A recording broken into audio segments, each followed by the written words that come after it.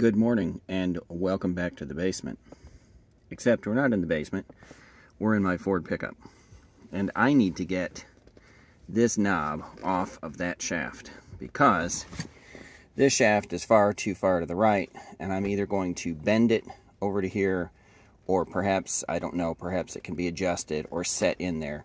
It doglegs up and to the right and I'm going to, by whatever means, get this knob to move over here so that there's more room to put a console and a drink holder and such here. Having said all that, this knob is press fit onto this shaft and looking on the web people talk about heating it up with a heat gun and doing different stuff and I'm gonna go what I think is a much simpler route and today we're going to make a quick and dirty gear knob puller that will clamp here and lift that right up off of there for us.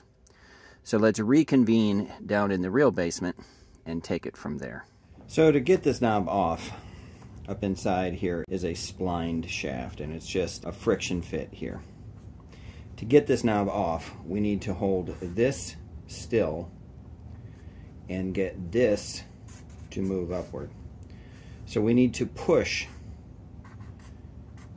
between there. So we need something that can grip this shaft and hold it still and as it turns out, we already have that, which is from a flaring tool, regular plumbing flaring tool. This is a 5 8 collar right here. And the shaft is just a smidgen under 5 8 So I will wrap this with a little bit of burlap or duct tape, some kind of a heavy cloth that will allow me to compress inward but will leave the shaft itself unscarred. And then we need something that can go in between here and a way to push it that direction. And what we're going to use for that is a steel plate. The steel plate can sit right here and it can go around this shaft opening here. As you can imagine, it can't currently, but we can simply saw cut it right there. And then it can slide around there, and then this part can push upward against the knob.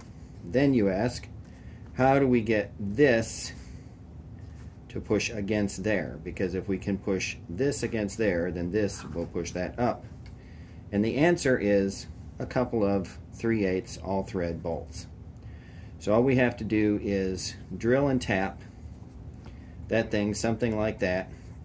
Put 3 8 all thread through, like so. And when you screw these all thread bolts down, it will push against this brace and the result will send this plate upward and the knob will slide right off.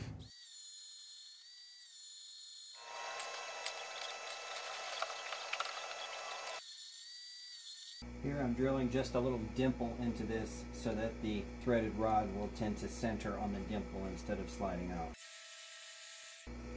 Like so.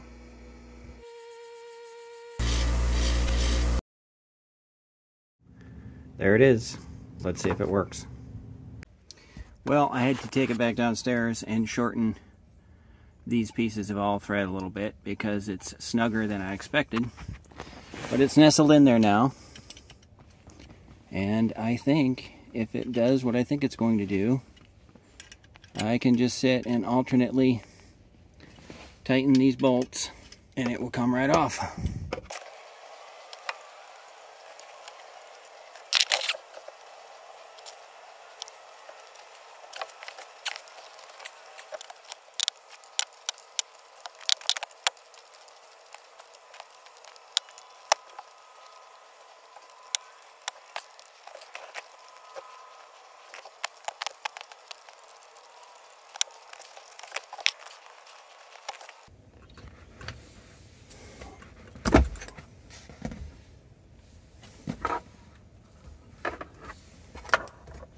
There it is. Off and pretty much unharmed. I would call the puller a success. And hey thanks for watching